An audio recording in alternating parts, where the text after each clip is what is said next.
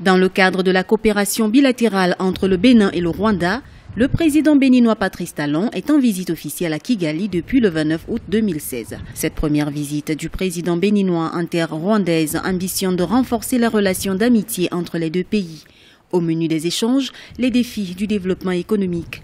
Depuis le génocide de 1994 au Rwanda, le pays est cité un exemple sur le continent pour la rigueur de sa gestion et sa performance économique. Nous pouvons être amenés à penser que le président euh, de la République, Patrice Talon, euh, séduit par le modèle rwandais, c'est tellement absent à la dernière rencontre de l'Union africaine euh, a bel et bien voulu rompre avec ce que d'aucuns pourraient être amenés à appeler un isolement sur la scène régionale. Le président béninois a annoncé à l'entame de cette visite lundi l'annulation de visas pour les ressortissants africains venant au Bénin.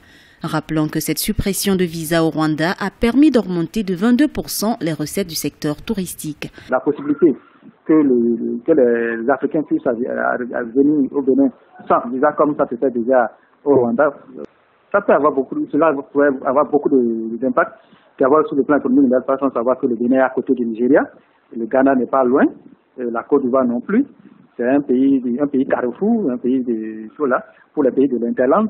Donc, ça peut amener beaucoup d'Africains de la sous-région à investir au Bénin. En mars 2016, Kigali et Cotonou avaient conclu un accord avec la compagnie aérienne Rwandair. L'inauguration de la ligne aérienne reliant les deux capitales est prévue pour le 2 septembre 2016. Les deux pays peuvent avoir des, accords de coopération où ils peuvent échanger soit euh, euh, des matières, ils peuvent euh, échanger les technologies, ils peuvent euh, s'échanger des experts. Parce que de part et d'autre, chaque pays a, sa.